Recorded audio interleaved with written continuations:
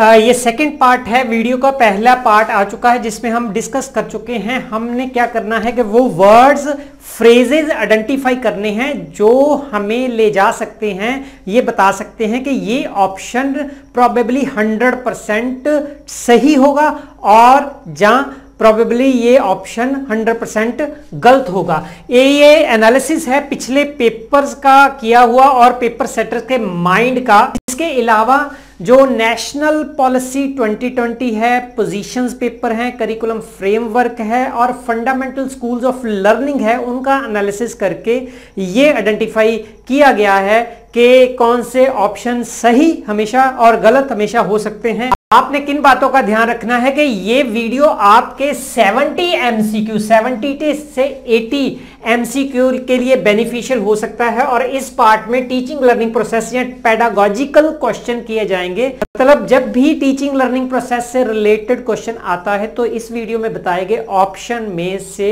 Right और wrong की identification हमने कर लेनी है। हाँ स्टेम स्टेम का ध्यान रखना है। जब यूज़ करना है स्टेम का मतलब है जो क्वेश्चन ऊपर पूछा गया है, उसके साथ नीचे चार ऑप्शन होते हैं। ये देखना कि ये स्टेम पॉजिटिव है जहाँ नेगेटिव है, ये आपने ध्यान रखना है। फॉर एग्ज़ाम्पल नॉट अवॉइड ऐसे शब्द आते हैं तो वो नेगेटिव है नेचुरली है कि उत्तर जो है उल्टा हो जाता है। ये बात आपको पता है। तीसरी बात कि इस वीडियो का फ़ायदा आपको ज़्यादा ऐसे हो सकता है कि आप जो भी मैं एनसर्कल्ड करता हूँ फॉर एग्ज़ाम्पल मैंने कई ऑप्शन लिखी होगी किसी की डिस्क्रिप्शन लिखी होगी उसमें से बताऊँगा कि ये आ, ये ये वर्ड को आपने पहचानना है। जब ये दिखाई देता है तो प्रोबेबली इसको करेक्ट मान के चलना है प्रोबेबली और जहाँ रॉन्ग मान के चलना है। रीजनिंग को अप्लाई साथ में करना ही करना है। हाँ उसको अपनी नोटबुक पर राइट डाउन कीजिए। उससे आपकी एक्सरसाइज जहाँ वो जो वर्ड हैं आइडेंटिफाई किए हुए आपके दिमाग में पक्के हो जाएँगे। अच्छा ये बात कर चुके हैं कि टीचिंग लर्निंग प्रोसेस की इसमें बात होगी। तो ऐसे मैंने ऑप्शन बनाए हुए हैं। आप अपनी नोटबुक पर भी ऐसे डिवीज़न कर लीजिए और करेक्ट ऑप्शन और रॉन्ग ऑप्शन प्रोबेबली उसी का रिवर्स जो होगा। यहाँ पर पहले करेक्ट ऑप्शन मैंने हॉट्स लिखा है जिसका मतलब है हायर ऑर्डर थिंकिंग स्किल मेरे ख्याल में मैं आपको पहले ये बता दूँ इस वीडियो का बेस क्या है? शायद आपको वीडियो ना ही देखनी पड़े है, है ज़रूरी नहीं है वीडियो देखिए। वीडियो आपको इसलिए देखना पड़ेगा कि जो इलेबोरेशन है लेपोलेटेड वर्ड ऑलरेडी मैंने आइडेंटिफाई किए हैं आपको वो ढूँढने नहीं पड़ेंगे। बेस क्या है टीचिंग लर्निंग प्रोसेस का? किसी भी टेट में बेस क्या है?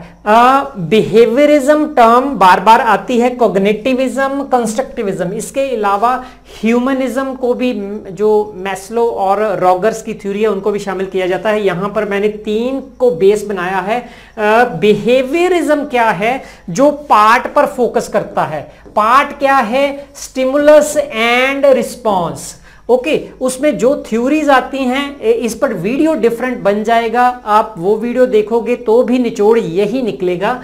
अच्छा बिहेवियरिज्म क्या कहता है कि स्टिमुलस और रिस्पांस की रेपिटेशन होनी चाहिए। फॉर एग्जांपल बच्चा A for apple A for apple repetition होनी चाहिए। और उसके लिए थिंकिंग की ज़रूरत नहीं है। ऐसा बिहेवियरिज्म का बेसिस है, ठीक? और ये अप्रोच बन जाती है टीचर सेंटर्ड जो भी रिस्पॉन्सेज बिहेवियरिज्म से रिलेटेड होंगे, पहला फंडामेंटल नुक्ता, वो मोस्टली मोस्टली रॉन्ग ही माने जाते हैं। क्यों, क्योंकि जो बिहेवियरिज्म है रिवार्ड एंड पनिशमेंट पर ज़ोर देता है री की पॉजिटिव बात करता है, लेकिन इसकी मोटिवेशन एक्सटेंसिक मोटिवेशन है। यही वर्ड इसके जो आइडेंटिफाई होंगे वो ऑलमोस्ट ऑलवेज रॉन्ग होंगे। दूसरा इज्म है, जो कॉग्नेटिविज्म है, वो थिंकिंग पर ज़ोर देता है, लेकिन मेमोरी मॉडल को फॉलो करता है। मेमोरी मॉडल जैसे कंप्यूटर में इनपुट प्रोसेस आउटपुट होता है। तो इंफॉर्मेशन प्रोसेसिंग जैसे हमारे कंप्यूटर में होती है, हमारे ब्रेन में होती है, ऐसा कोग्नेटिविज्म मानना है, मानता है। लेकिन कोग्नेटिविज्म के कई ऑप्शन रॉन्ग होंगे और कई सही भी, बहुत कम सही भी हो सकते हैं। फॉर एग्ज़ाम्पल जो इंफॉर्मेशन को स्टोर रिटेन और रिकॉल करने की स्ट्रेटजी है, जो जनरली हमें जो एग्ज़ाम का टेक्स्ट बुक मैटर को लर्न करना है, उसके लिए हेल्प होती है। The centre idea is mnemonics जो हम यूज़ करते हैं। निमोनिक्स पर क्वेश्चन जब आता है तो नेचुरली है कि कॉग्रेटिविज्म का पॉजिटिव एस्पेक्ट हाँ थर्ड पार्ट है कंस्ट्रक्टिविज्म कंस्ट्रक्टिविज्म लर्निंग को क्या कहता है? मीनिंग मेकिंग प्रोसेस इन्होंने कहा था स्टिमुलस रिस्पॉन्स इन्होंने कहा कि मेमोरी के साथ इंफॉर्मेशन को लॉन्ग टर्म मेमोरी में स्टोर करना और ये कहते हैं मीनिंग मेकिंग प्रोसेस बच्चे ने खुद नॉलेज को डिस्कवर करना है टीचर ने सिर्फ़ फैसिलिटेट करना है, ये वर्ड भी राइट ही है। अब ये कॉन्टेक्चुअल सिचुएशन बेस्ड लर्निंग की बात करते हैं और ये अप्रोच लर्नर सेंटर्ड होती है। वो सारे उत्तर सही होंगे टीचिंग लर्निंग प्रोसेस में जो लर्नर सेंटर्ड से रिलेटेड है। सेंट्रल आइडिया वो सारे उत्तर गलत होते हैं जो टीचर सेंटर से रिलेटेड है। ऐसी बात नहीं है कि बिहेवियरिज्म में पॉजिटिव नहीं है। फ़र्स्ट साइंटिफिक स्कूल यही है। लेकिन अभी तक वैसे क्वेश्चन पूछे नहीं गए कि यहाँ बिहेवियरिज्म का अच्छा पार्ट मतलब रिस्पॉन्स जो है, उसके सही हो। जब कंपैरेटिवली इसके तीनों के ऑप्शन आते हैं तो ऑप्शन कंस्ट्रक्टिविज्म का ही सही होता है। तो आगे चल के हम ये देखते हैं कि कंस्ट्रक्टिविज्म कौन सी teaching learning process methods activity activities strategies techniques in classroom की बात करते हैं, और ये इज्म कौन सी बात करते हैं, और राइट और रॉन्ग की साथ साथ में बात करते रहेंगे। अगर आपको इनकी इन डेप्थ समझ है बिहेवियरिज्म कोग्नेटिविज्म कंस्ट्रक्टिविज्म की। तो आपको वीडियो आगे देखने की ज़रूरत नहीं है। कंस्ट्रक्टिविज्म का पत्ता है वर्ल्ड वाइड ये इज्म राज कर रहा है इसको प्रमोट किया जा रहा है, इसको बेस्ट एजुकेशन कहा जा रहा है। तो that is why right answer में शामिल इसको किया जाता है। तो ये जो डिस्कस पीछे करके आया हूँ वर्ड एक बात दोबारा समझ लीजिए, ये ये भी एक्सरसाइज है कि ये वाला एस आर रॉन्ग होगा, आगे चल के भी आ जाएँगे रेपिटेशन रॉन्ग होगी नॉट थिंकिंग रॉन्ग होगा टीचर सेंटेड रॉन्ग होगा, है ना रिवार्ड एंड पनिशमेंट रॉन्ग होगा एक्सटेंसिक मोटिवेशन रॉन्ग होगा, ऐसे ही इनकी बात, वो वाले सारे सही होंगे। अब यहाँ पर फोकस कीजिए। पहले मैंने आइडेंटिफाई कर रखा है कि हॉर्स हमेशा ही करेक्ट होगा।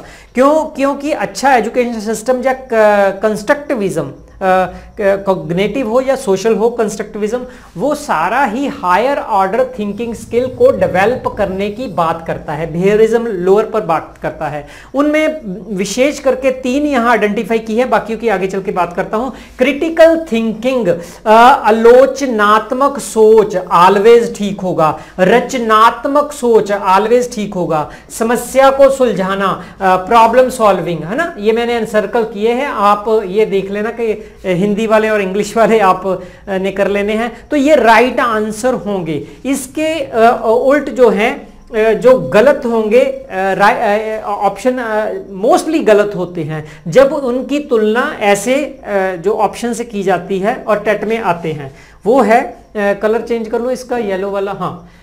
रिकॉल इंफॉर्मेशन कॉग्नेटिविज्म का अभी बता के आया ना रिकॉल प्रैक्टिस करनी बिहेवियरिज्म का। ड्रिल रेपिटेशन मैकेनिकल रेपिटेशन बिना सोचे रेपिटेशन रेपिटेशन विदाउट थिंकिंग ये भी गलत। मेमोराइजेशन वर्ड जहाँ भी आता है टैग कर देना है। ये मैं वो वर्ड आपको अब बता रहा हूँ एंड सर्कल भी अंडरलाइन ये सारे शब्द नोट कर लीजिए कि ये शब्द जब भी किसी ऑप्शन में आएगा तो प्रोबेबिलिटी ऑफ़ रॉन्ग होने की संभावना मैक्सिमम होगी। अच्छा रोट वर्ड आता है बार बार मेमोराइजेशन आता है क्रैमिंग आता है।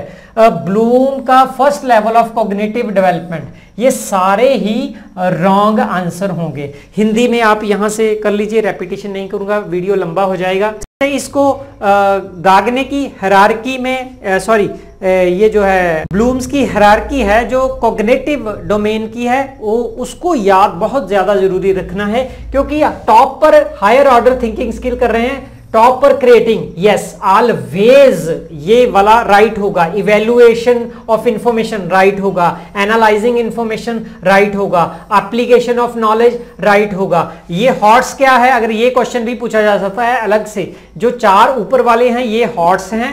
हॉट्स ओके यो नीचे वाले हैं, इनको दोनों को लोअर में रखा जाता है। पर लोअर में अंडरस्टैंडिंग वर्ड जहाँ भी आता है फॉर एग्जांपल के कहा जाता है कि टीचर को, उस बच्चे को अंडरस्टैंड उसकी रीजनिंग को, उसके इमोशन को, उसकी सिचुएशन को अंडरस्टैंड करके फिर सोल्यूशन करना चाहिए तो वो राइट right रिस्पॉन्स ही होगा। हाँ जहाँ रिमेंबरिंग होगा ये कॉग्नेटिविज्म का लोअर पार्ट वो गलत होगा। इसके साथ हाँ ये लंबी एक्सरसाइज है। अगर आप वर्ड इनमें से आ, इनको लर्न कर सकते हो डिफरेंट वीडियो में वो करेंगे तो ये वाले राइट वाले ज़्यादा बनेंगे। आ, उसकी डिफरेंट से एक्सरसाइज भी आ सकती है कि ये कैटेगराइज करने को कहा गया है कैलकुलेट करने को कहा गया है। तो वो कौन सी ए, ए, जो है थिंकिंग स्किल का प्रयोग किया जा रहा है। ये ऑप्शन हो सकती है आपको एनालाइज इससे जोड़ के करना पड़ेगा। नेक्स्ट uh, है सेल्फ डायरेक्टेड लर्निंग दो वर्ड हैं सेल्फ रेगुलेटेड लर्निंग और सेल्फ डायरेक्टेड लर्निंग दोनों ही ठीक हैं, यहाँ पर उसका डिफरेंस नहीं करूँगा।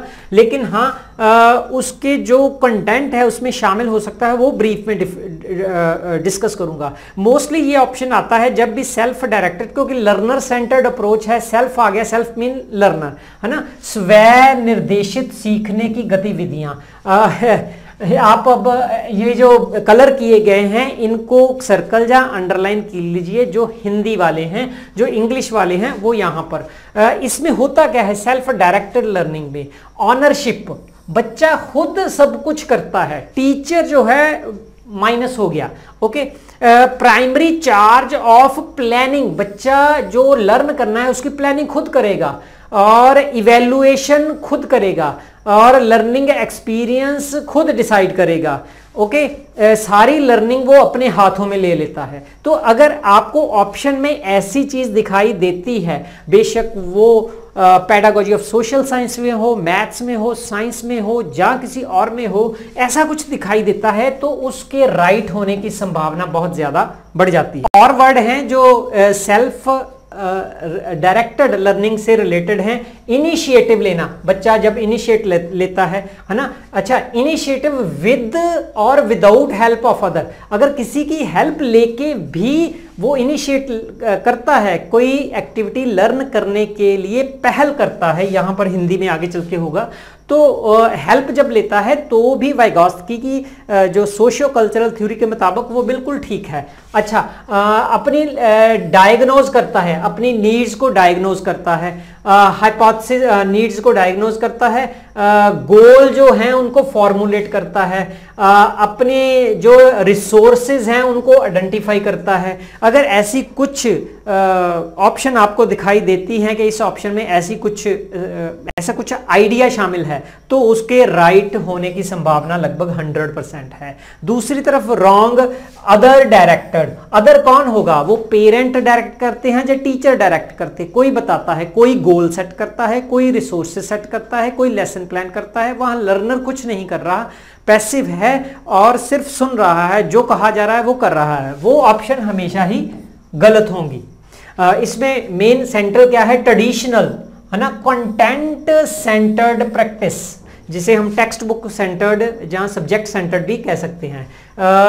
Where the teacher is bearer of knowledge जिसमें यह माना जाता है कि सारा ही ज्ञान टीचर के पास है। हिंदी वाले बच्चे यहाँ से नोट कर लें। अच्छा और सेल्फ डायरेक्टेड लर्निंग अगर वर्ड नहीं यूज़ किया गया तो जो बच्चा खुद के रिसोर्सेज आइडेंटिफाई करता है अपनी स्ट्रेटजीज लर्निंग करने की खुद बनाता है, ये सेंट्रल आइडिया है। Self directed learners have choice voice and autonomy स्वतंत्रता कि उन्होंने क्या करना है? They design manage lead their own learning ये सेंट्रल से सेंट्रल आइडिया है। इसको नोट ज़रूर कर लीजिए। हाँ नीड एंड इंटरेस्ट अपने पर्सनल नीड एंड इंटरेस्ट के बेस पर वो एक्सपीरियंस जो करना चाहता है, उसको प्रेफर करेगा। दूसरा इससे रिलेटेड वर्ड है self regulated learning self regulated learning school में यूज़ की जाती है। वो जो सेल्फ डायरेक्टेड है, स्कूल के बाहर भी यूज़ हो सकती है। अच्छा सेल्फ रेगुलेटेड और डायरेक्टेड में सिमिलैरिटी है। इससे रिलेटेड एक क्वेश्चन बहुत खास करके जो स्टेट लेवल के टेट हैं, उसमें ज़रूर पूछा जा सकता है कि सेल्फ रेगुलेटेड लर्निंग को का मॉडल बेस्ट किसने डेवलप किया? तो उसका उत्तर आएगा जिम्मरमैन ये याद करना है। तो ये मेटाकॉग्निशन से बहुत ज़्यादा रिफ्लेक्शन से बहुत ज़्यादा कि जो आप लर्न कर रहे हो, उसी पर सोच रहे हो। थिंकिंग अबाउट थिंकिंग से बहुत ज़्यादा रिलेटेड है, लेकिन उससे ये कॉम्प्रीहेंसिव है। क्यों? क्योंकि इसमें कॉग्निशन और इमोशंस दोनों एस्पेक्ट इवन सोशल एस्पेक्ट भी सेल्फ रेगुलेटर लर्निंग में शामिल है। इसका सेंट्रल आइडिया क्या है? Self regulated learning is a cyclical process number एक। और where the student plan for task खुद प्लान कर रहा है। डायरेक्टर में भी यही हो रहा था। मोनिटर इवेलुएट खुद करता है अपनी परफॉर्मेंस को। तीसरा रिफ्लेक्ट करता है। ऑन द आउटकम रिज़ल्ट जो आए हैं, उसकी लर्निंग के। हमेशा राइट आंसर होंगे। क्वेश्चन पूछा जा सकता है सेल्फ रेगुलेटेड लर्निंग के three phases forethought first है performance second self reflection third ये कुछ नहीं है जैसे मेटाकोग्निशन में इसको सेंट्रल बनाइए आप परफॉर्मेंस ये आप टेक्स्ट बुक को टेक्स्ट चैप्टर को या टास्क को याद कर रहे हो जहाँ लर्न कर रहे हो। ये उससे पहले का है ये टेक्स्ट बुक उसके बाद का है। मोस्ट uh, इंपॉर्टेंट ये डेफिनेशन है सेल्फ रेगुलेटेड लर्निंग की, ये है डायरेक्टेड सेल्फ डायरेक्टेड लर्निंग तो इसका नाम जो है, इसका ये क्वेश्चन पूछा जा सकता है जिम्मरमैन पहले बता के आया हूँ। और इसमें सेंट्रल आइडिया ये येलो जो कलर किए गए हैं that they are learner metacognitively motivationally and behaviourally active participant in their own learning process ये तीन। और इसमें सेंट्रल क्या है? मेटाकोग्नेटिव दूसरी तरफ़ ये डेफिनेशन आप रीड कर सकते हो और डायरेक्टेड सेल्फ डायरेक्टेड लर्निंग अगर ये पूछा जाता है तो ये नाम नॉवल्स नॉवेल्स 95 राइट आंसर इसका। ये होगा। ये बातें रिपीट हो चुकी हैं। सेल्फ रेगुलेटेड लर्निंग और सेल्फ डायरेक्टेड लर्निंग दोनों में जो सिमिलैरिटी है, वो ये चार पॉइंट हैं। ये क्यों बनाए हैं? क्योंकि ये ऑलवेज ठीक होंगे। अगर गोल डायरेक्टेड बिहेवियर किसी ऑप्शन में है, वो हमेशा राइट होगा। मेटा कॉग्नेटिव एबिलिटीज को इंडिकेट किया जा रहा है, वो राइट होगा। एक्टिव पार्टिसिपेशन है, बहुत ज़्यादा राइट होगा।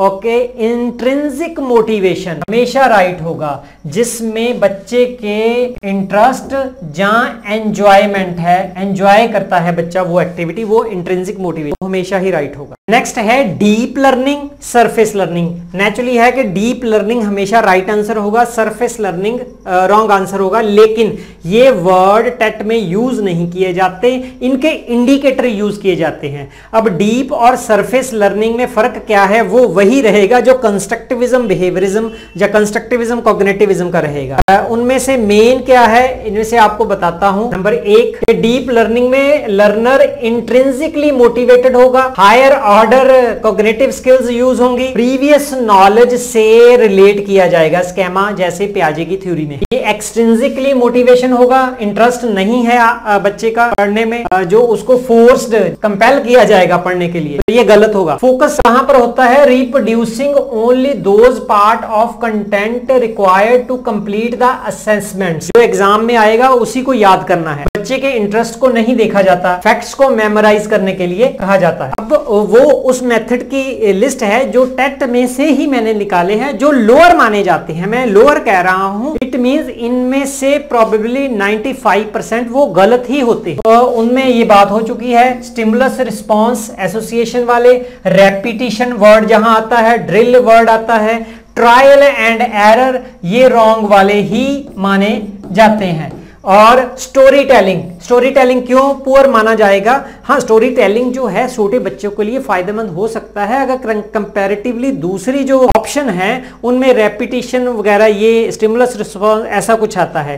क्योंकि स्टोरी टेलिंग पुअर लोअर क्यों है? क्योंकि टीचर ने टेल करना है, बच्चों ने सुनना है। अच्छा ये क्यों है? क्योंकि इससे इंटरेस्ट बन जाता है। तो this is one way process demonstration demonstration लगभग मिडर और अपर आगे चल के आपको बताता हूँ। डेमोस्ट्रेशन मतलब 80 परसेंट नेगेटिव माना जाएगा। लेकिन ऑप्शन इसके साथ क्या होता है? डिस्कशन होती है डेमोस्ट्रेशन में, फिर ये पॉजिटिव बन जाएगा। अच्छा डाइडेक्टिक ये भी रॉन्ग ऑप्शन या लोअर मेथड्स में माना जाता है। हिंदी में आप यहाँ से नोट कर सकते हो। अगर ड्रिल का मतलब नहीं पता तो आप देख सकते हो कि मेमोराइज करने की एक टेक्निक है, जिसमें रिपीट किया जाता है नॉलेज पेस्ट रेपिटेशन ये वर्ड मैं बार बार कह चुका हूँ, ये हमेशा ही गलत होते हैं। अच्छा इस स्लाइड को ध्यान से देखना है। ये करेक्ट ऑप्शन है, ये बात सही है, ये रॉन्ग ऑप्शन है, ये भी बात ठीक है। अच्छा इसमें जो ये लिस्ट बनाई गई है, वो है ऊपर वाले रिलेटिवली टीचर सेंटर्ड हैं, लेकिन टीचर सेंटर्ड में अच्छे मेथड हैं। ब्लेंडेड लर्निंग का कंसेप्ट आपने सुना होगा। ब्लेंडेड लर्निंग क्या है? जिसमें ऑफलाइन ऑनलाइन जहाँ डिजिटल और फेस टू फेस टीचिंग दोनों को ब्लेंड जोड़ के पढ़ाया जाता है ना? उसमें बहुत पॉपुलर टेक्निक जो चल रही है, इसको करेक्ट ऑप्शन में इसलिए रखा है, बेशक ये टीचर सेंटर्ड है। ये करेक्ट में आ सकती है क्योंकि ये आईसीटी बेस्ड बेटर टेक्निक है, यहाँ पर हाईटेक भी लिखा हुआ है। फ्लिप्ड क्लासरूम है कि पहले आप कोई कंसेप्ट जो टीच करना है उसका वीडियो बच्चों को सेंड कर देते हो। बच्चे वीडियो देख के क्लास में एंटर होते हैं उसके बाद उसकी एलेबोरेशन उसकी डिस्कशन या उसके लर्न किए कंसेप्ट पर मेटाकोग्नेटिवली रिफ्लेक्टिवली जो बात की जाती है कंसेप्ट को एलेबोरेट किया जाता है। हाँ, अगर फ्लिप्ड क्लासरूम से के साथ ये वाले ऑप्शन है तो ये बात याद रखनी है। जैसे जैसे मैं डाउन जा रहा हूँ वैसे वैसे लर्नर सेंटर्ड अप्रोच या मेथड्स हैं। तो इट मीन्स डाउन वाले ये ज़्यादा लर्नर सेंटर्ड हैं, लेकिन इसको पॉजिटिव माना जा सकता है। बाकी आपने कंपेयर इनसे करना है। अगर फ्लिप्ड क्लासरूम है तो और दूसरी तरफ़ ऑप्शन डायरेक्ट इंस्ट्रक्शन है। जिसमें टेक्नोलॉजी का लो प्रयोग होता है और ये टीचर सेंटर्ड है, ये भी टीचर सेंटर्ड है। तो आप राइट right आंसर इसको चुनोगे। नेक्स्ट है Socratic questioning involve the teacher's facilitation of critical thinking देखिए क्योंकि सोक्रेटिक मेथड से क्वेश्चनिंग से बच्चे की क्रिटिकल थिंकिंग डेवलप होती है उसको यूज़ होता है। That is why on the basis of this hot skill ये राइट uh, ऑप्शन right में इसको रखा गया है। और ये याद रखना है कि टीचर का रोल बड़ा इंपॉर्टेंट है। टीचर सेंटर्ड अप्रोच से माना जाता है। ये क्वेश्चन भी पूछा जा सकता है कि फ्लिप्ड क्लासरूम क्या है? हाईटेक है लो टेक है जहाँ लर्नर सेंटर्ड है टीचर सेंटर्ड है। इसके कॉम्बिनेशन भी हो सकते हैं। फ्लिप्ड क्लासरूम हाई टेक है और टीचर सेंटर्ड है। सोक्रेटिक क्वेश्चनिंग टीचर सेंटर्ड है लेकिन क्रिटिकल थिंकिंग को डेवलप कर उसके बाद और इन्वॉल्व uh, जो लर्नर जिसमें एंगेज हो जाता है स्टूडेंट एंगेजमेंट वर्ड भी यूज़ किया जा सकता है उसमें बेस्ट फाइव लेवल हैं। यहाँ पर मैंने डिस्कस नहीं किए फाइव लेवल हैं और टॉप का लेवल क्या है? ऑथेंटिक स्टूडेंट एंगेजमेंट जिसे रियल सिचुएशन में अकॉर्डिंग टू कंस्ट्रक्टिविज्म बच्चा uh, बच्चे को एंगेज किया जाता है रियल प्रॉब्लम देख। तो नेक्स्ट है डिस्कशन डिस्कशन ये जो अब लर्नर सेंटर्ड अप्रोच की तरफ़ हम बढ़ने लगे हैं। डिस्कशन को आप जो सोशल कंस्ट्रक्टिविज्म की एक टेक्निक मान सकते हो। उसके बाद है केस बेस्ड लर्निंग या केस स्टडी ये हमेशा ठीक होगा, ये हमेशा ठीक होगा। कोलेबोरेटिव लर्निंग जिग्सा इसकी एक टेक्निक है, ये भी सीधी पूछी जा सकती है। जिग्सा का संबंध किससे है? कोलेबोरेटिव लर्निंग से है। वो उसकी एक मेन टेक्निक है। अच्छा ये हमेशा ठीक होगा। सोशल कंस्ट्रक्टिविज्म के सारे आंसर राइट होंगे। अच्छा इंक्वायरी बेस्ड लर्निंग ये बहुत ज़्यादा याद रखना है। इंक्वायरी पैडागोजी भी यहाँ शब्द आ सकता है। ये उनसे भी अच्छा ये हाईली कंस्ट्रक्टिविस्ट जो है अप्रोचेज हैं। प्रॉब्लम बेस्ड लर्निंग अब देखिए रियल प्रॉब्लम के बेस पर जो लर्निंग हो रही है project based learning whole hearted mean आप उसमें इमोशनली भी एंगेज हो सोशली भी एंगेज हो कॉग्नेटिवली भी एंगेज हो, और लर्निंग बाय डूइंग फिजिकली भी एंगेज हो. दैट इज़ वाई प्रोजेक्ट को टॉप पर रखा गया है. इसके उल्ट जो ऑप्शन गलत होंगी ट्रांसमिशन ऑफ़ नॉलेज आगे चल के फिर बात आएगी. ट्रांसमिशन ऑफ़ नॉलेज यहाँ पर teacher one way process readymade knowledge बच्चे को सीधी प्रोवाइड करता है। कंटेंट बेस इस, इसी को समझना है क्या होता है? तो one way communication knowledge okay इसी को समझना है लेक्चर मेथड इनमें से कोई भी ऑप्शन हो सकती है यही आ रहे हैं। और showing and telling one way process description one way process factual knowledge one way process और विदाउट थिंकिंग जो है exercise copying from board board से है आपने नोट करना है कोई थिंकिंग नहीं क्रिटिकल थिंकिंग हॉट्स इसमें शामिल नहीं है। कॉपिंग फ्रॉम बुक एक बुक दी दी गई है उससे नोट करना है। ये प्रॉबेबली सारे ऑप्शन वीक माने जाते हैं टीचिंग लर्निंग प्रोसेस में। ये higher order thinking skill develop करते हैं। दैट इज़ वाई इनको हमेशा ही हमेशा ही ठीक माना जाएगा आज के टेट में। आ, हिंदी वाले यहाँ से नोट कर सकते हैं।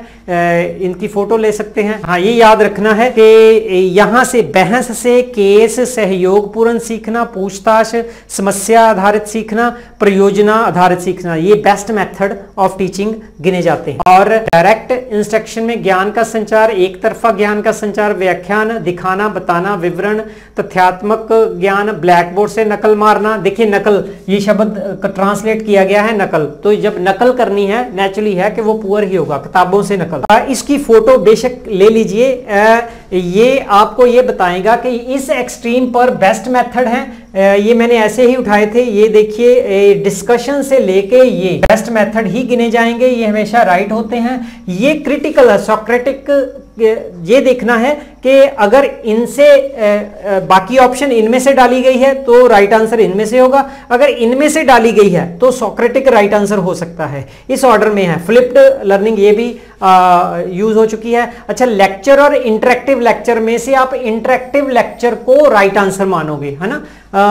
लेक्चर से वर्कड एग्ज़ाम्पल को आप बेटर मानो। तो इसको एक ऑर्डर में समझा जा सकता है। ये मोर स्टूडेंट डायरेक्टेड है, इधर वाली, ये मोर टीचर डायरेक्ट नेक्स्ट है एक्सपीडिशनरी लर्निंग दो वर्ड हैं जिनमें कंफ्यूज हो सकते हो। एक्सपीडिशनरी है ना? आ, ये येलो वाला ले लो। ओके एक्सपीडिशनरी दूसरा है एक्सपीरियंशियल लर्निंग दोनों ही पॉजिटिव रिस्पॉन्स है। इधर रॉन्ग रिस्पॉन्स नहीं है हिंदी में लिखे गए हैं। एक और आंसर आपका है एक्सपीडिशनरी लर्निंग को डेवलप किसने किया?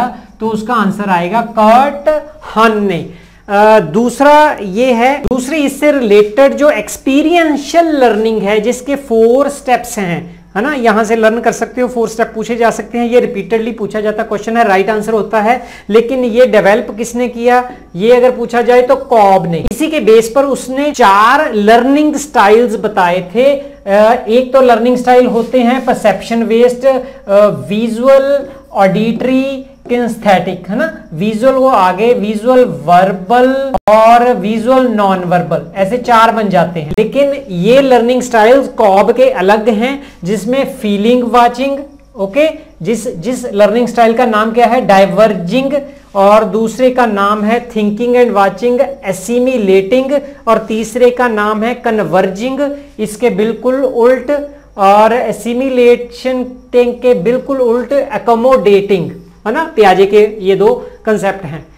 तो ये इससे रिलेटेड आपको क्वेश्चन पूछे जा सकते दूसरा पर्सनलाइज्ड लर्निंग ये पिछले वीडियो में बात हो चुकी है। Individualised learning personalised learning differentiated learning जब आपकी अप्रोच ने बच्चों में एग्जिस्ट जो कर रहे हैं इंडिविजुअल डिफरेंसेस या इंडिविजुअल वेरिएशन या डाइवर्सिटी को एड्रेस करना है। उनको सामने रखते हुए लेसन प्लानिंग करनी है तो इनकी ज़रूरत पड़ती है। इंडिविजुअल बच्चे का ध्यान रखा जाता है, लेकिन तीनों में डिफरेंस है, वो पीछे हो चुका है। व्यक्तिकृत शिक्षा राइट आंसर होगा। गेम बेस्ड लर्निंग ये क्यों पॉजिटिव माना जाता है? इसमें एक तो गेम के प्रिंसिपल अप्लाई किए जाते हैं। इसमें हेल्दी कंपटीशन होता है। बच्चे एंगेज हो जाते हैं। इमीडिएट रिवार्ड इसमें बच्चे को मिल जाता है। कि फॉर एग्जांपल कोई गेम है लर्निंग के साथ जोड़ा हुआ है तो ये शब्द को जोड़ना है तो इमीडिएट आपको इतने मार्क्स मिल गए तो रिवार्ड इमीडिएट मिल जाता है। ब्लेंडेड लर्निंग पीछे बात करके आए हैं। ऑफलाइन ऑनलाइन दोनों को क्लब करके यूज़ करना है। फ्लिप्ड लर्निंग इसका एक पार्ट था। यूनिवर्सल डिज़ाइन फॉर लर्निंग घबराना नहीं है यूनिवर्सल डिज़ाइन मीन क्लास या स्कूल में जितने बच्चे हैं, सभी को सामने रखते हुए, सभी की नीड्स को पूरा करने के लिए यूनिवर्सल डिज़ाइन जो तैयार किया जाता है इंक्लूसिव एजुकेशन के साथ जोड़ के इसको ईजीली समझा जा सकता है। तो हिंदी में है खेल आधारित डिजिटल और ऑनलाइन। देखिए इसकी ट्रांसलेशन क्या हुई है? ब्लेंडेड लर्निंग की ट्रांसलेशन डिजिटल और ऑनलाइन मीडिया के माध्यम से होने वाला औपचारिक शैक्षणिक कार्यक्रम ये ब्लेंडेड लर्निंग की परिभाषा है।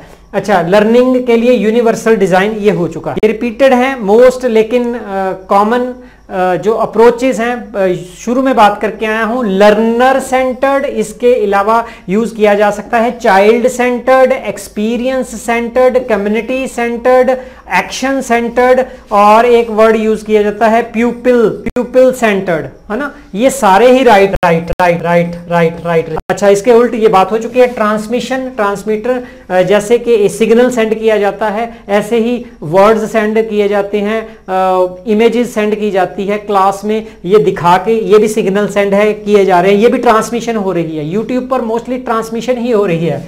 क्योंकि आप इंटरेक्ट बहुत कम करते हो इंटरेक्ट करते हो, बहुत लिमिटेड होता है। क्रिटिकल थिंकिंग के लिए टाइम ही नहीं मिलता। आपको राइट आंसर पर फोकस करते हो, ये ऐसी अप्रोच है बिहेवियरिज्म की वो अप्रोच है।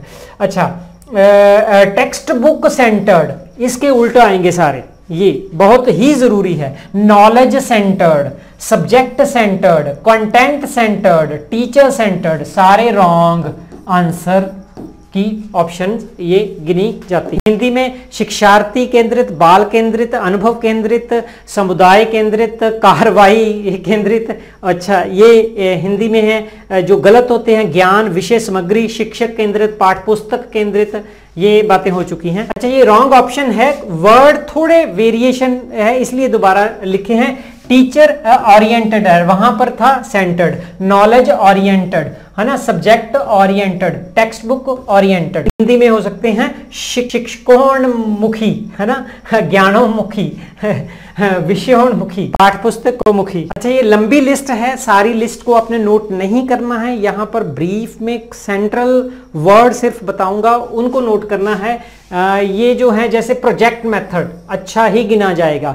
ब्रेन स्ट्रॉमिंग ऑलवेज क्योंकि डिफरेंट न्यू यूनिक आइडियाज़ को जनरेट करने के लिए आंसर इसका साथ जो ऑप्शन में आता है कि brain storming is related with जहाँ पर्पज क्या होता है, उसका डाइवर्जेंट थिंकिंग को डेवलप करना, जहाँ क्रिएटिविटी को डेवलप केस स्टडी पहले भी आ चुका है। क्लास प्रोजेक्ट प्रोजेक्ट शब्द ऐसे है इंडिविजुअल प्रोजेक्ट हो सोशल प्रोजेक्ट हो क्लास प्रोजेक्ट हो। हाँ सोशल प्रोजेक्ट जो, अगर आता है तो उसको प्रेफर कीजिए। वहाँ पर लर्निंग ज़्यादा बेटर होती है, क्योंकि व्यवस्था अप्लाई हो रहा है। कोलेबोलेटिव लर्निंग आ रहा है म्यूरल का मीनिंग भी यहाँ बताया गया है। Piece of graphic artwork that is painted and applied directly on wall बच्चों को ऐसे काम दिया जाता है। तो ये राइट आंसर ही है।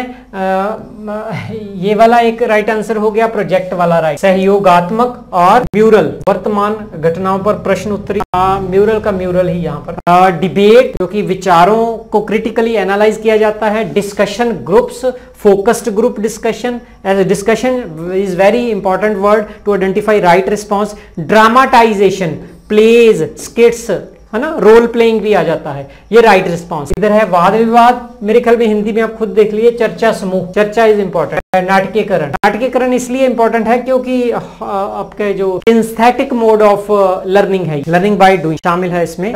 फिर ग्रुप डिस्कशन है, हो चुका है हैंड्स ऑन एक्टिविटी जो बच्चों ने अपने हाथों से काम करने हैं। इंडिविजुअल प्रोजेक्ट हो चुका है इंटरव्यूइंग इसको अनसर्कल कर लीजिए व्हाइट वाले नोट कर लीजिए यहाँ पर। Journaling the very important constructivism या कॉग्नेटिव कंस्ट्रक्टिविज्म की एक स्ट्रेटेजी है जिसमें जर्नलिज्म होता क्या है? ये अगर आता है तो राइट रिस्पॉन्स ही होगा। Keeping a record of your personal record of experience आपने कोई एक्सपीरियंस किया था उसको आप डेली एक डायरी में लिखते हो। आपने नए आइडियाज़ जो uh, आपने कलेक्ट किए हैं उसको लिखते हो। आपकी रिफ्लेक्शंस uh, को लिखते हो कि उस एक्सपीरियंस पर जो सोचा था कि मैंने ये गलतियाँ की ये अच्छा काम किया ये मैंने नई स्ट्रेटजी लर्न की आगे से मैंने इसका ध्यान रखना है। आपकी फीलिंग यार मुझे डर लगा इस बात से मुझे डर लगा। इसे यहाँ पर कॉन्फिडेंस बहुत था। ये इनसाइट्स जो आप टोटल कंक्लूजन बनाते हो अपने एक्सपीरियंस का ये सारे ही आप किसी डायरी में लिखते हो और ज़रूरत पड़ने पर उसको देखते हो तो वो, डीप लर्निंग की तरफ़ आपको लेके जाते हैं। तो जर्नलिंग जो है राइट right रिस्पॉन्स होगा। इसकी जगह पर रिफ्लेक्टिव जर्नल भी हो सकता है रिफ्लेक्टिव डायरी भी हो सकता है। रिफ्लेक्टिव वर्ड ज़्यादा ज़रूरी है लेकिन जर्नलिंग इन इट एक्सप्लेन करता है।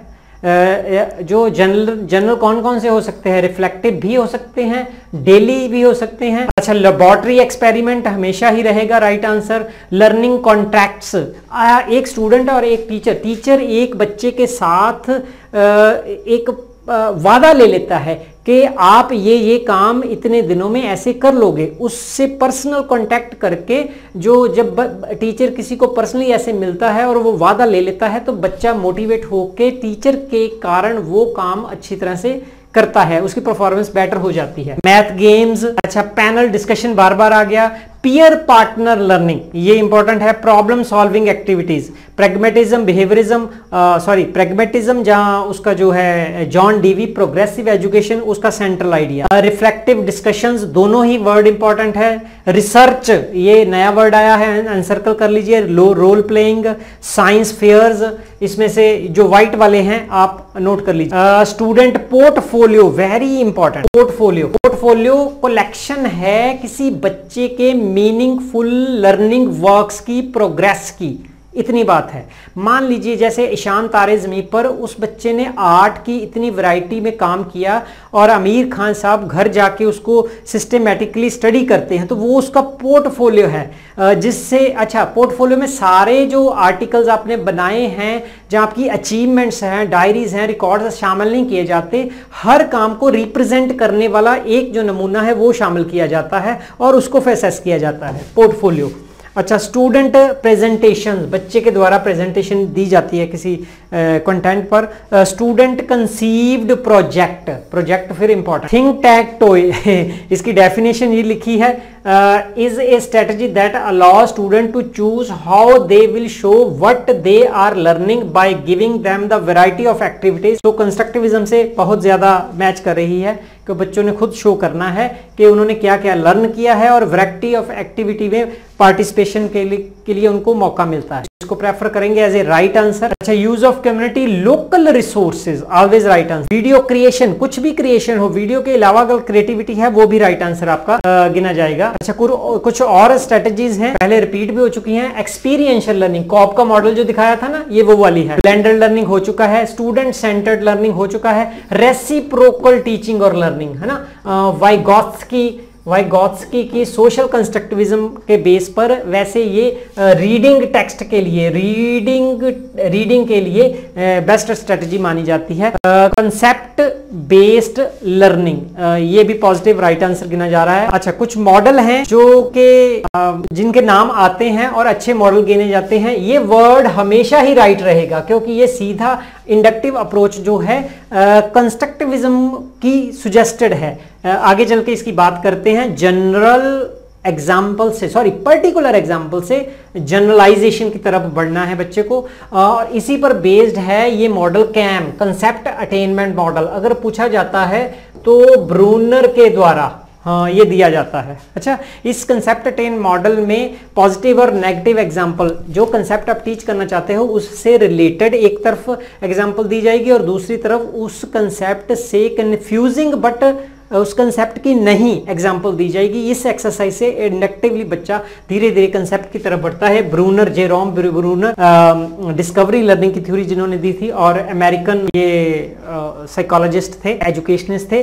ताबा मॉडल ओके ये अच्छे गिने जाते हैं। Ausubel model and Suchman inquiry inquiry word को इंपॉर्टेंट ही समझना है। इंक्वायरी जहाँ भी आता है अटैक एज ए पॉजिटिव उसको लेके चलना है। एक सोशल साइंस में जूरिस्प्रूडेंशियल मॉडल भी होता है। तो वो मॉडल जो है नेचुरली फंडामेंटल थ्योरी के बेस पर बने हुए हैं उनको पॉजिटिव लेके चलना है। Focusing on goal and process इस बात को यार ध्यान से समझ लें ये मैंने उसी में से आ, आ, उठाई है टट में से। फोकसिंग ऑन गोल गोल पर भी फोकस कर रहे हो और प्रोसेस पर भी फोकस कर रहे हो।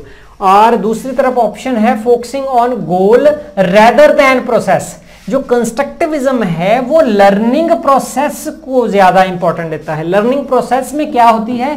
एरर्स हो जाती है। एरर्स को इंपॉर्टेंस कंस्ट्रक्टिविज्म ने दी है। लेकिन बिहेवियरिज्म ने राइट right रिस्पांस पर फोकस क्या है कि राइट right रिस्पांस बच्चे को लर्न करवाना है।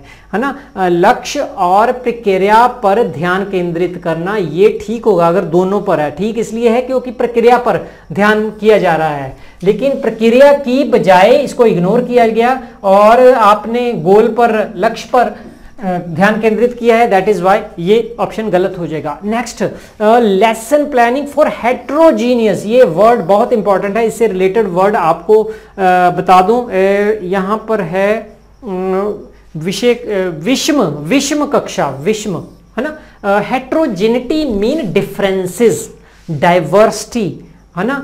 डिसिमिलैरिटी uh, अच्छा ये किसी के बेस पर होगी. फॉर एग्ज़ाम्पल जेंडर के बेस पर. अगर क्लास में लड़के और लड़कियाँ हैं तो हेट्रोजीनियस है। अगर क्लास में हाई एवरेज लो इंटेलिजेंस के बच्चे हैं तो हेट्रोजेनिटी है। अगर क्लास में जो फिजिकली या मेंटली विजुअली डिसेबल्ड भी हैं नॉर्मल भी हैं तो हेट्रोजेनिटी है। ये जो डिफरेंसेस हैं, इनके लिए ही हमेशा लेसन प्लान होना चाहिए। इसके विरुद्ध में जो रॉन्ग ऑप्शन होगी, वो है होमोजीनियस सेम तो समरूप, ये गलत होगा। अगर आप सभी बच्चों को, ये इंक्लूसिव पिछले वीडियो में डिस्कस भी हुआ है इंक्लूसिव एजुकेशन के अगेंस्ट है। इंक्लूसिव एजुकेशन ने इस मॉडल को लेके चलना है कि हेट्रोजीनियस क्लास को समझा जाए मल्टीलिंगुअल मल्टीकल्चरल क्लासरूम इसकी बात न्यू एजुकेशन पॉलिसी ने बार बार की है। तो यहाँ पर आगे चलते हैं। हाँ टीचिंग लर्निंग प्रोसेस में कुछ इमोशनल टोन्स हैं। उनको ज़रूर हर हालत में समझ लेना चाहिए। वो इमोशनल टोन क्या है? अगर आप अफेक्शन वाला जो वर्ड आ रहा है लव अफेक्शन है ना?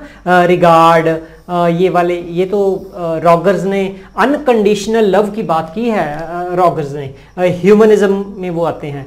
और अंडरस्टैंडिंग द लर्नर ये तो पेपर का नाम भी है ना understanding the learner learning process learning environment तो ये हमेशा राइट right आंसर होंगे। अगर अंडरस्टैंडिंग है किसी चीज़ की टीचर अंडरस्टैंडिंग कर रहा है तो वो बेटर राइट आंसर है। प्यार पॉजिटिव इमोशन सारे दिखा रहा है तो राइट uh, right है। इसमें पॉजिटिव इमोशन में और क्या है? अगर लर्निंग क्लास में लर्निंग जॉय और इंजॉयमेंट है वेरी गुड ये बार बार शब्द 2020 पॉलिसी में यूज़ किया गया है। एक वीडियो उसी पर बनाऊँगा जिसमें national policy national education policy 2020 में जो पेडागोजिकल मेथड सुजेस्ट किए गए हैं, वो हमेशा ही राइट आंसर होंगे। वो अगला वीडियो होगा, नीचे लिंक दिया गया है, वो देख सकते हो आप।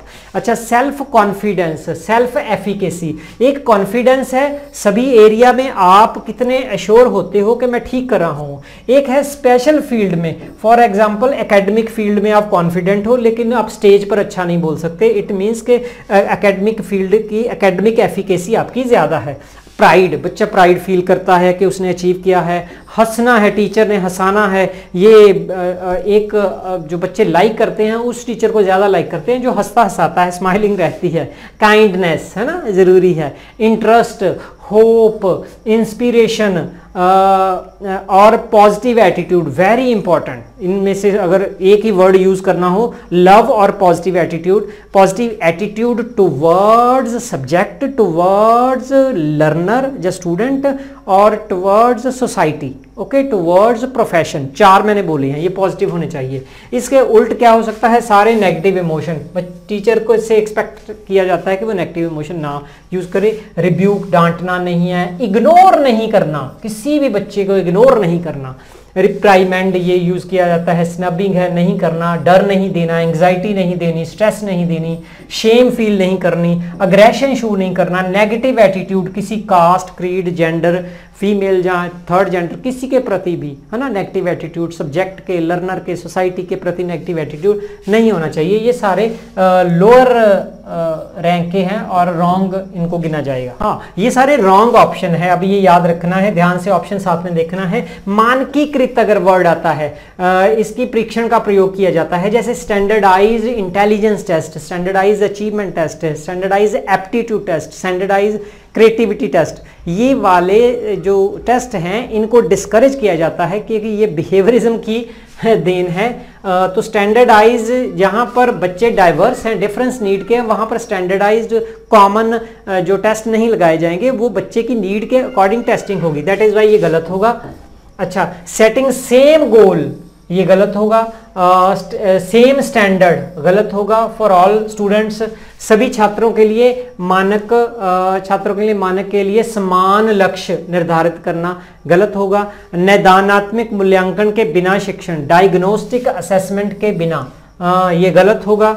डायग्नोस्टिक मीन कि आपने पॉजिटिव बच्चे में क्या है, ट्रेट क्या है, अच्छाइयाँ क्या है, पहले पॉजिटिविटी पर फोकस करना है, उसके बाद नेगेटिव नेगेटिव नहीं कहना, उसको एरर है, वीकनेस है, लिमिटेशन है, जो आपने आइडेंटिफाई करके रिमूव करनी है, बच्चे को आगे लेके जाना है दैट इज़ वाई डायग्नोस्टिक पर। इग्नोरिंग इग्नोरिंग वर्ड अपने आप में, देखिए कि ये ऑप्शन एकदम गलत से हो गई।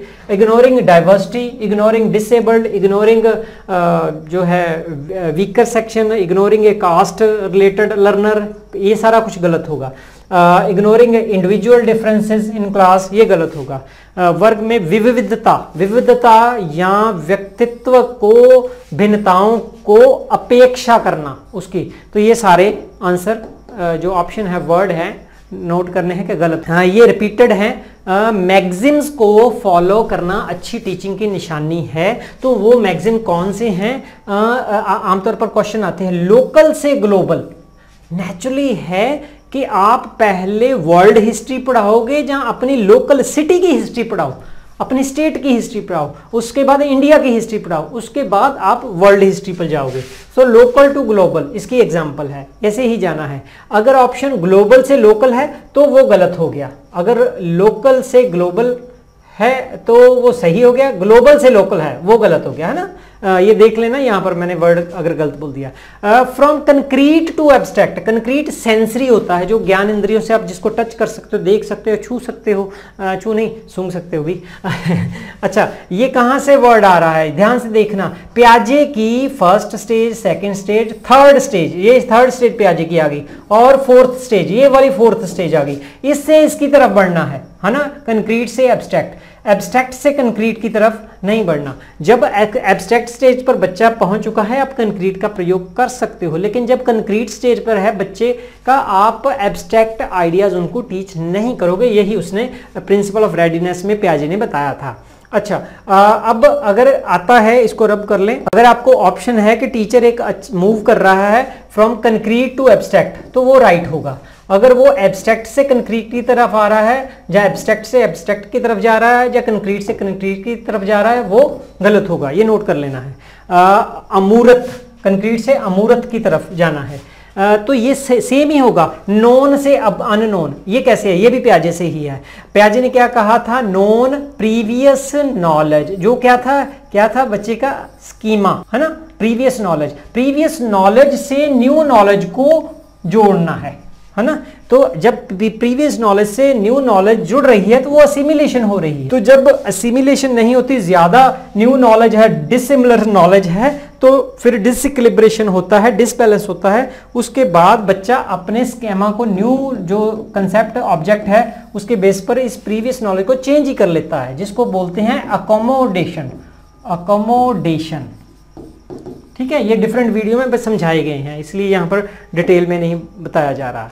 तो जो बच्चा जानता है, उसको बेस बना के लेसन ड्राइंग कीजिए अननोन की तरफ़ लेके जाइए। तो राइट आंसर क्या होगा? नोन से अननोन अगर अननोन से नोन की तरफ़ है तो वो रॉन्ग रिस्पॉन्स होगा ये वाला रॉन्ग रिस्पॉन्स होगा। अगर अननोन से अननोन की तरफ़ है, वो भी रॉन्ग होगा। अगर नॉन से नॉन की तरफ़ है, वो भी रॉन्ग होगा। जैसे डीएलएड बीएलएड वाले कई बार वो टॉपिक ले लेते हैं जी, प्यासा का बच्चों को पता है प्यासा का नॉन से नॉन की तरफ़ जा रहे हो। कुछ नया पढ़ाओ भाई, नया लेके जाओ। फ्रॉम सिंपल टू कम्प्लेक्स है ना? जो ब्लूम की टेक्सोनमी है, वो भी ऐसे बनी हुई है। सिंपल से शुरू होती है, फिर कॉम्प्लेक्स की तरफ़ जा रही है। पहले सिंपल चीज़ें, उसके बाद कॉम्प्लेक्स इसको भी ऐसे समझना है। ये राइट है। इसको रब कर दूँ। सिंपल से ये कॉम्प्लेक्स ठीक होगा। कॉम्प्लेक्स से सिंपल अगर आते हो तो गलत होगा। कॉम्प्लेक्स से कॉम्प्लेक्स गलत होगा। सिंपल से सिंपल जो होगा, वो भी गलत होगा। सरल से जटिल ठीक होगा। ये इंपॉर्टेंट है। इंडक्टिव अप्रोच बताई थी ना? तो ये इंडक्टिव अप्रोच कंस्ट्रक्टिविज्म की है। फ्रॉम एग्ज़ाम्पल पहले आप नाउन पढ़ाते से पहले, जैसे आप पहले एग्ज़ाम्पल देखो, ये क्या है? बुक है, ये चौक है, ये मंदिर है है ना? ये लड़की है, गीता है। तो ये वर्ड कलेक्ट कर लिए उसको उनको एनालाइज फिर करते। हैं ऐसे नहीं है, सीधी जनरलाइजेशन पर पहुँच गए। तो पहले एग्ज़ाम्पल है ना? वो पर्टिकुलर होंगी, ज़्यादा होंगी स्पेसिफिक होंगी। वर्ड क्या हो सकते हैं? स्पेसिफिक एग्जांपल्स पर्टिकुलर एग्जांपल्स उनको एनालाइज किया एनालाइज किया और उसके बाद कंक्लूजन पर पहुँचे।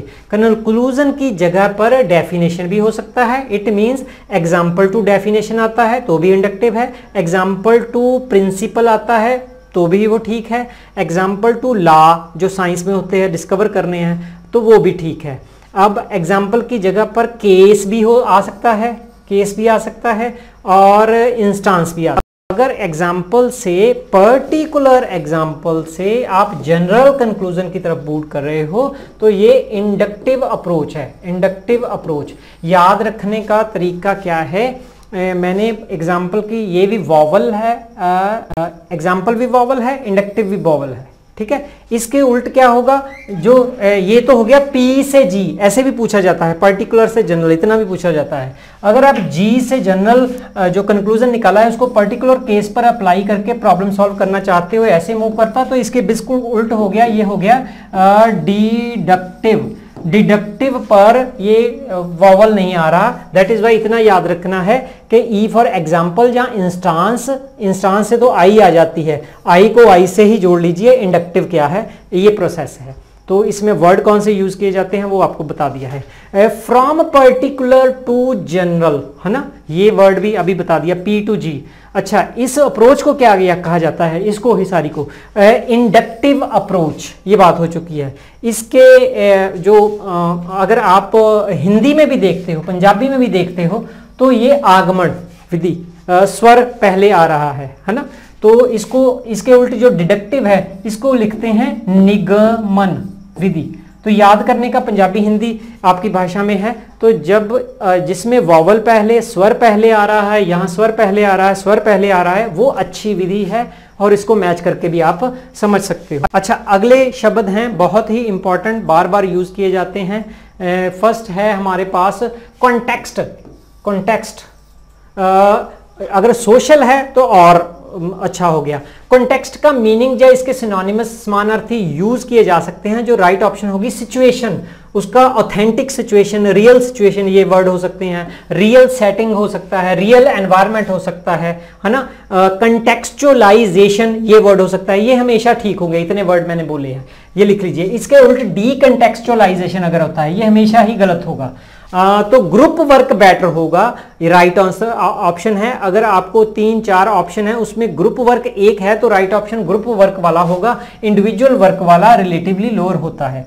ठीक? कोऑपरेटिव लर्निंग बहुत ज़्यादा रिपीट हो चुका है लेकिन इसके विरुद्ध में क्या है? कंपटीशन या कंपटीशन लर्निंग लेकिन गेम लर्निंग की बात की है वहाँ पर हेल्दी कंपटीशन होता है लेकिन नंबर वन कोऑपरेशन नहीं ही रहना है उसके बाद हेल्दी कंपटीशन और कंपटीशन एक वक्त में बाद में जाके विरोध डिबेट कंफ्लिक्ट में बदल जाता है दैट इज़ वाई विरोध में विरोध को जो क्लासरूम टीचिंग लर्निंग है उसमें सही नहीं माना जाता। अच्छा ग्रुपिंग जो है अगर स्मॉल ग्रुपिंग जो कोऑपरेटिव लर्निंग है वो बेटर समझी जाती है। आ, ये हमेशा ही गलती होगी कि एबिलिटी बेस्ड ग्रुपिंग होगी। आपने हेट्रोजीनियस ग्रुपिंग आगे चल के आ जाएगा। जो डाइवर्स ग्रुप बनाना है फॉर एग्जांपल एक में लड़की है, एक में लड़का है, एक में हाई आईक्यू वाला है, जहाँ एक इंटेलिजेंस वाला है डोमिनेट कर लिया दूसरे लर्निंग स्टाइल का डोमिनेशन है। तो ऐसे डिफरेंट एबिलिटी वाले बच्चों का ग्रुप बनाना है और स्मॉल बनाना है। ये सही होगा। दूसरा एबिलिटी बेस्ड पर है कि आपने सभी हाई आईक्यू या हाई हाई अचीवमेंट जिनका स्कोर मैथ्स में ज़्यादा है, उनका एक ग्रुप बना दिया, ऐसे नहीं बनेगा, ये बिल्कुल गलत। हिंदी वाले यहाँ पर नोट कर लें, नीचे से।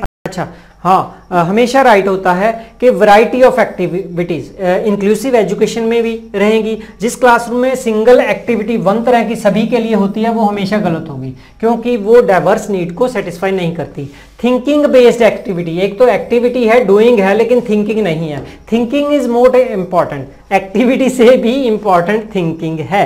अच्छा मेमोरी बेस्ड कॉग्नेटिविज्म वाला। मेमोरी बेस्ड एक्टिविटी है तो वो गलत होगी। हेट्रोजीनियस ग्रुपिंग पीछे बात करके आया हूँ। हेट्रोजीनियस का कोई आधार होगा फॉर एग्ज़ाम्पल जेंडर जेंडर के बेस पर बॉयज़ गर्ल्स है ना? एबिलिटी हो जा, हो सकती है। जहाँ हाई अचीवर हाई अचीवर बच्चे जिन्हों के स्कोर ज़्यादा है एवरेज अचीवर और लोअर अचीवर है ना? तो ऐसे तीन चार पाँच का ग्रुप बना दिया। ये हेट्रोजीनियस ग्रुप होगा। ये बेटर परफॉर्म करते हैं।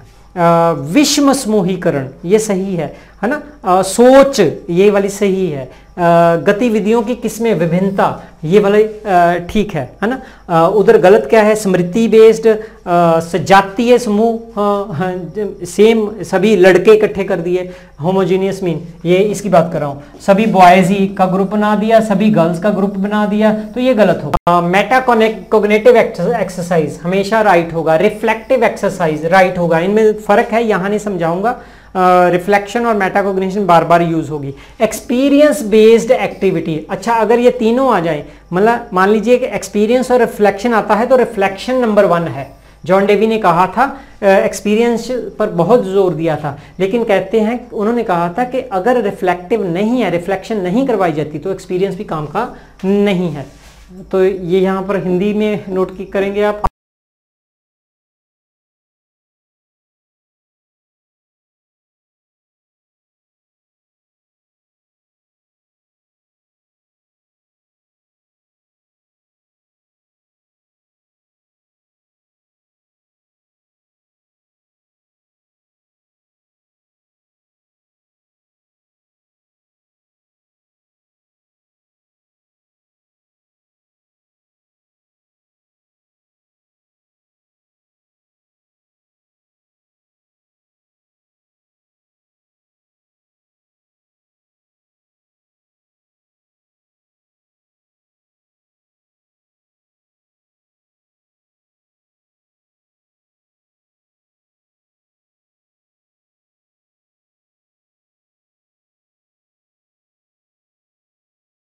प्रेज कर रहे हो। प्रेज करना आपको अच्छा लगेगा लेकिन एक्सटर्नल मोटिवेशन है। ये एक एक क्वेश्चन आ सकता है। टीचर ने प्रेज की। क्या वो इंट्रेंसिक है या एक्सटेंसिक है मोटिवेशन एक्सटेंसिक है। आ, तो वर्क फ्रॉम मनी के लिए करते हो ग्रेड के लिए चॉकलेट के लिए है ना? स्टार के लिए जो छोटे बच्चों को दिया जाता है। तो वो एक्सटर्नल या एक्सटेंसिक मोटिवेशन है। मेरिट पोजीशन को लाने के लिए गोल्ड मेडल लेने के लिए है ना? तो ये सारी जो टेक्निक किसने दी है? बिहेवियरिज्म में। शुरू में बात की थी बिहेवियरिज्म को पीछे रखा जाता है। ये सारी टेक्निक किसने दी है? इंजॉयमेंट वाली कंस्ट्रक्टिविज्म में, है ना? इसके अलावा क्रियोसिटी इंट्रेंसिक मोटिवेशन है। चैलेंज जब बच्चे को challenge been moderate difficulty level को चूज़ किया जाए। बहुत आसान टास्क भी ना बच्चे को दिया जाए। वैसे टास्क का मतलब ही डिफ़िकल्ट होता है डिफ़िकल्ट काम। तो बहुत ईजी भी ना दिया जाए। जब मॉडरेट होगा मिडल वाला तो ईगो से वो चैलेंज करेगा और इन्वॉल्व हो जाएगा, है ना? तो दैट इज़ वाई ये एक्सटेंसिक इंट्रेंसिक इंट्रेंसिक मोटिवेशन के फेवर में ये शब्द जा रहे हैं इनको आइडेंटिफाई कर लेना। एक्सपीरियंशियल लर्निंग का मॉडल फिर आ गया पहले भी डिस्कस कर चुका है लेकिन एक दो क्वेश्चन इसमें से एक्स्ट्रा बन रहे हैं उसको यहाँ पर डिस्कस करूँगा कि ये अमेरिकन ऑर्गेनाइजेशनल साइकोलॉजी डॉबिट डेविड ए कॉब ये एक क्वेश्चन बनता है किसने दिया? पहले भी हो चुका है। कब दिया? नाइनटीन uh, में। हाँ जब पंजाब में आप याद कर सकते हो। एक्सपीरियंशियल लर्निंग इसके मॉडल का नाम है। अच्छा इंस्पायर्ड किससे हुए थे? गेस्टाल्ट साइकोलॉजिस्ट कर्ट लेविन से। दूसरा किससे हुए थे? प्रेगमेटिस्ट जॉन डेवी से। ये मॉडल इनसे प्रभावित है। ये मॉडल कंस्ट्रक्टिविस्ट है। तो कंस्ट्रक्टिविस्ट यहाँ पर आ गए, वहाँ पर राइट रिस्पॉन्स आ गए। ये वर्ड को अगर इसमें से कोई भी वर्ड आपको मिलता है तो ऑप्शन में है नेचुरली है। कि वो राइट रिस्पॉन्स की तरफ़ आपको लेके जाएगा। नेक्स्ट uh, है कंपटीशन गलत हो चुके हैं अच्छा रिफ्लेक्शन हो चुकी है ये भी हो चुका है। Reflection is a process of exploring and examining our self our perspective attributes experiences and action interaction ये एक ऑप्शन था। यहाँ पर आपको लगता है कि प्रैक्टिकल फ़ाइल ठीक होगी। वहाँ पर रिफ्लेक्शन राइट आंसर था तो रिफ्लेक्शन को ही आप प्रेफर करोगे। लेकिन प्रैक्टिकल फ़ाइल जो है, यहाँ पर प्रैक्टिकल वर्ड आपको अट्रैक्ट कर सकता है। लेकिन ये रॉन्ग आंसर में रखा जा रहा है। प्रैक्टिकल फ़ाइल बना लेना काफ़ी नहीं है। प्रैक्टिकल करके उस पर थिंक करना थिंक करके नोट करना, है ना राइट करना, जिसको रिफ्लेक्शन कहते हैं, वो राइट हुआ awareness of own knowledge past experience and belief Uh, मेरे ख्याल में अच्छा रिफ्लेक्शन हमेशा या बहुत करके राइटिंग में ही होती है। जैसे पीछे बात करके आए हैं reflection in action reflection on action and reflection for action ये वर्ड टाइप्स ऑफ़ रिफ्लेक्शन अगर आए तो तीन तरह के ये वर्ड हैं। पीछे बात करके आए थे जर्नल की रिफ्लेक्टिव जर्नल रिफ्लेक्टिव डायरी ये बातें हो अच्छा इवेल्युएशन क्वालिटेटिव जो प्याजे वेगोस्त की ब्रूनर ने सुजेस्ट की है वो हमेशा बेटर होगी। Qualitative aspect of teaching learning process वो ऑलवेज राइट right होंगे। दूसरी तरफ़ क्वांटिटेटिव क्वांटिटेटिव मीन जहाँ नंबर की बात की जाती है। उसकी एग्जांपल साथ में ही है। Quantitative aspect of teaching and learning process example क्या है? आपके मार्क्स टेंथ में कितने मार्क्स है? उस न्यूमेरिकल वैल्यू की जब बात की जाती है, वो गलत होगा। क्वांटिटेटिव रिज़ल्ट गलत होगा, ये भी गलत होगा। मैयरिंग वर्ड ये भी क्वांटिटेटिव होता है कि बच्चे की हाइट वैसे हम मैयर करते हैं। यहाँ पर एजुकेशनल मैयर मेयरमेंट की बात होती है मेयरमेंट नहीं होगी क्वालिटेटिव उसके जो है रिस्पॉन्स लिए जाएँगे। टेस्ट uh, हमेशा क्वांटिटेटिव ही होते हैं। फॉर एग्जांपल अचीवमेंट टेस्ट है आपके टेन में से कितने मार्क्स आए मेरे सेवन मार्क्स आए। तो ये क्वांटिफिकेशन की एग्जांपल है जो हमेशा ही रॉन्ग समझी जा रही हैं बिहेवियरिज्म की देन है। दूसरी तरफ़ जो क्वालिटेटिव इवेल्युएशन में उसमें क्या है? As focus group project case studies artefact जो बच्चों ने हाथों से बनाए हुए जो सामान है, उन्होंने क्रिएटिव वर्क बनाया, जैसे तारे जमी पर ईशान ने बनाया था। पर्सनल एक्सपीरियंस उस पर लिखना इंट्रोस्पेक्ट करना, अपने अंदर झांकना, अपनी थिंकिंग को देखना हाँ अपने विजन को देखना। विजुअल टेक्स्ट है ना पोर्टफोलियो बात हो चुकी है। Direct observation role playing simulation simulation को थोड़ा वीक रख सकते हैं इंटरव्यू ये सारे पॉजिटिव हाई रैंक और राइट right रिस्पॉन्स हो गए। पार्टिसिपेंट ऑब्जर्वेशन आप किसी ग्रुप में हो, उसमें ही आप ग्रुप के मेंबर बन जाते हो। तो आपको टीचर नहीं वो समझते, आपको मेंबर ही समझते हैं। तो रियल जो बिहेवियर सामने आता है तो उसको ऑब्ज़र्व साथ साथ में करते हो पार्टिसिपेंट ऑब्जर्वेशन है। डॉक्यूमेंट एनालिसिस फॉर एग्जांपल जैसे तारे जमी पर बच्चे ईशान की बुक नोटबुक्स हैं, उनको निकाल के वो देखता है, वो कौन कौन सी एरर है पैटर्न को आइडेंटिफाई करता है डॉक्यूमेंट एनालिसिस तो ये वाले राइट रिस्पॉन्स गिने जाते हैं। हाँ अल्टीमेटली अगर आपको ये ऐसे क्वेश्चन आए कि सिलेबस कंप्लीशन ये हमेशा रॉन्ग होगा। सिलेबस को कंप्लीट नहीं कराना, वैसे सिलेबस को कवर भी नहीं करना अनकवर करना, ये वर्ड भी यूज़ किए जाते हैं। कंट्रोल्ड एंड एनवायरमेंट हमेशा गलत होगा है ना? आ, तो लर्निंग वाला जो है लर्निंग पर फोकस होना चाहिए मार्क्स पर नहीं। नेक्स्ट है राइट right क्या होगा? स्ट्रक्चर्ड टीचिंग लर्निंग प्रोसेस जो बिहेवियरिज्म ने दी थी है ना? प्रोग्राम्ड लर्निंग वो स्ट्रक्चर्ड है। तो यहाँ पर स्ट्रक्चर क्या है? डेफिनेट स्टेप्स हैं जिनमें उन्हीं स्टेप्स को फॉलो किया जाएगा। एक के स्टेप के बाद दूसरा स्टेप वही आएगा तीसरा ये आएगा। ये ऐसे स्ट्रक्चर्ड होता है। उसके रूल ज़्यादा होते हैं फॉर्मल ज़्यादा हो, होता है। जो ये बातें डोमिनेट करती हैं। तो अनस्ट्रक्चर में ऐसा कुछ नहीं होता। जितनी जो कंस्ट्रक्टिविज्म है अनस्ट्रक्चर्ड लर्निंग हो सकता है बच्चा कोई लर्न करता इस तरफ़ चला गया, कोई इस तरफ़ चला गया, इस तरफ़ चला गया, किसी उसने पहले स्टेप को फॉलो किया, उसके बाद तीसरे स्टेप को फॉलो कर रहा है, उसके बाद सिक्स स्टेप उसने आइडेंटिफाई किया, उसकी मर्ज़ी है, उसकी मर्ज़ी है। ओके ये लीनियर की एग्जांपल नॉन आगे चल के आएगा मैं बता देता हूँ हो गई है। अनडिटरमाइंड प्री डिटरमाइंड सबसे पहले ये वर्ड को ही देख लेना है अगर प्री डिटरमाइंड है तो वो रॉन्ग आंसर ही है। पहले से निश्चित नहीं किया होगा फिक्स्ड नहीं पहले से होगा फ्लेक्सिबल होगा। फ्लेक्सिबल uh, ये वाला राइट right आंसर होगा। स्पाइरल uh, ऐसे होता है ये ब्रूनर ने स्पाइरल ये जो करिकुलम भी दिया था उसको प्रेफर करना है है ना? जैसे के एक स्पाइरल करिकुलम में क्या होता है? कि जो कंटेंट आप छोटी क्लास को पढ़ाते हो, वही कंटेंट फिर आगे रिपीट करते हो, लेकिन डिफिकल्टी लेवल उसका बढ़ जाता है। फॉर एग्जांपल फंडामेंटल राइट्स हैं। छोटी क्लास को भी है, उस, उससे बड़ी क्लास को भी है, उससे बड़ी क्लास को भी। इवन एमए तक फंडामेंटल राइट हो सकते हैं। वहाँ तक, वहाँ पर आप डिफिकल्टी लेवल कॉम्प्लेक्सिटी लेवल वो बढ़ा दोगे। प्लस मोड ऑफ़ रिप्रेजेंटेशन के बच्चे ने यहाँ पर डूइंग थिंकिंग और इमेजेस सबको ही यूज़ करना है, सारे लर्निंग स्टाइल यहाँ पर किंस्थेटिक ही यूज़ करेगा? ये वाली बातें हैं। तो ये हो गया स्पायरल है ना? तो लीनियर अप्रोच पहले बोल चुका हूँ मैं, ऐसे ही चलती है। Step number one two three four five ऐसे ऑर्डर में फॉलो होगा कि प्रोग्राम लर्निंग मेरे ख्याल की उसकी एक एग्जांपल है। हिंदी में आपका असंचरित, संरचित, असंरचित, ये ठीक होगा। अनिर्धारित ठीक होगा, लचकीलापन ठीक होगा कुंडली करिकुलम या लर्निंग प्रोसेस वो ठीक होगा। गलत क्या हो गया? रेखीय हल किया गया, पूर्व निर्धारित, संरचित टीचिंग लर्निंग पर गलत। इसके बाद अगला वीडियो लर्नर पर वैसे फोकस होगा। एक वीडियो अलग से जो नेशनल एजुकेशन पॉलिसी 2020 है उस पर फोकस होगा। उसमें एनालिसिस नेशनल पॉलिसी का होगा। उसमें जो मेथड्स ऑफ़ टीचिंग दिए गए हैं उनको उनके वर्ड्स को आइडेंटिफाई करके ब्रीफ में डिस्कस किया जाएगा। वहाँ, यहाँ भी वो वर्ड मेथड टेक्निक स्ट्रेटजी आती है तो वो राइट ही होगी। इन अकॉर्डेंस विद कंस्ट्रक्टिविज्म भी होगा। नेशनल एजुकेशन पॉलिसी 2020 का लिंक नीचे दिया गया होगा। आप जिन कैंडिडेट के पास समय बहुत कम है, वो एक टेट बेसिक कोर्स तैयार किया हुआ है, उसको अटेंड करके एग्ज़ाम दे सकते हैं। For example learn to actualise पर एंटर होके प्ले लिस्ट में एंटर हो गए।